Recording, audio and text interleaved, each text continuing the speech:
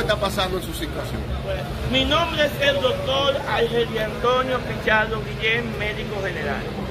Entonces, yo hace 15 años atrás, yo llegué a la comunidad de Santa Ana Villatapia hacer la pasantía. ¿Qué pasa?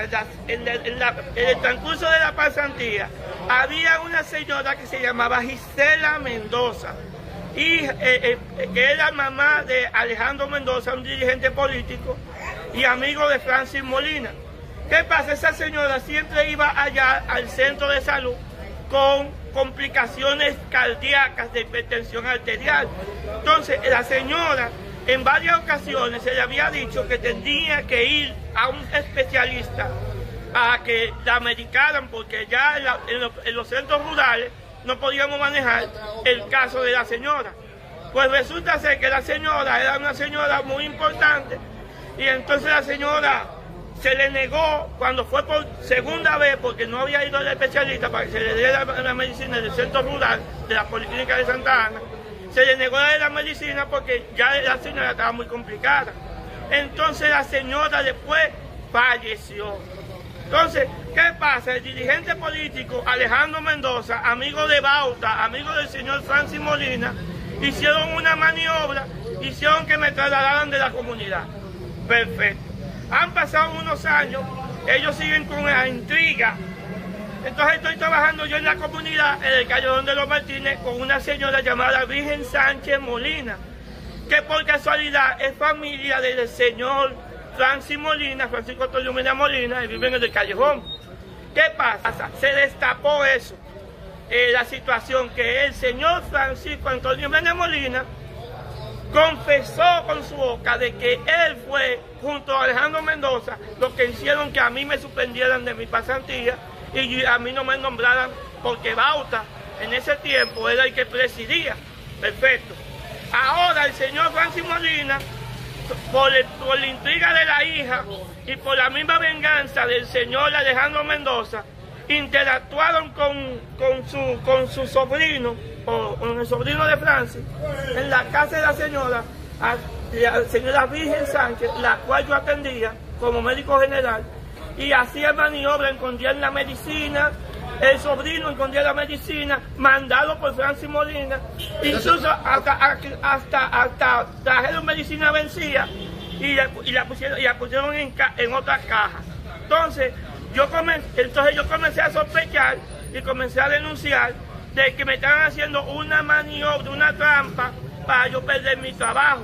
Entonces, como se destapó el asunto, yo comencé a denunciar a la fiscalía. Ah, mira, ellos me hicieron esto y esto y esto, pero el señor Francis Molina es el hermano del fiscal. Entonces me dijeron a mi doctor, como eh, le pusieron una cita en la fiscalía, nos reunimos. Yo, de manera inteligente, como tengo dos celulares, lo grabé. El señor Francis intentó manipular a la fiscalía, diciendo que el doctor Pichardo es un loco enfermo mental, violador, acosador sexual, acosador porque decía que tenía a la hija asediada. Que tú pero- tenías la hija de él asediada. y que asediada, siendo mentira porque, por la cual yo le pedí a él de manera personal a la hija, de manera como hombre, porque él es un cobarde, lo hizo como, como un cobarde allá en la fiscalía. Entonces, delante del fiscal, delante del abogado Julio César García, el señor Francis Molina, a veces sin argumento, a veces acorralado, me amenazó de muerte frente al fiscal. Y desde ese momento me di cuenta que tenía apoyado- estaba apoyado por la fiscalía y por el hermano del fiscal porque no lo dejaron detenido. Entonces el abogado, Julio César García, abogado penalista de Salcedo, no puede hacer nada porque él es el hermano del fiscal, es un abogado pagado. Entonces, al, han, pasado, han pasado unos meses y entonces digo, al ver el abogado no hace nada, entonces procedo yo a decirle al abogado que de manera insistente que haga su trabajo. Entonces el abogado me dice, no, porque el hermano del fiscal es es Pablo Siri. Entonces yo procedo ahora a buscar un abogado civil para demandar por trabajo pagado no realizado, difamación e injuria, amenaza de muerte al doctor Argelio Antonio Pichardo Guillén y arruinar al médico haciéndole perder su empleo, su trabajo, para sentir su nombramiento, usando estrategia política, estrategia también maniobra con la familia en mi trabajo.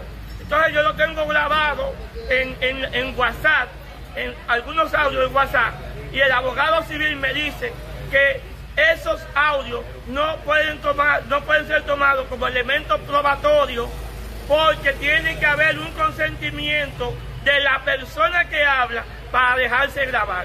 Entonces yo veo que ahí hay una manipulación donde el, abogado civil, el abogado penalista, el fiscal, el hermano del fiscal y un entramado de personas ahí que arruinaron la carrera del doctor Argelio Antonio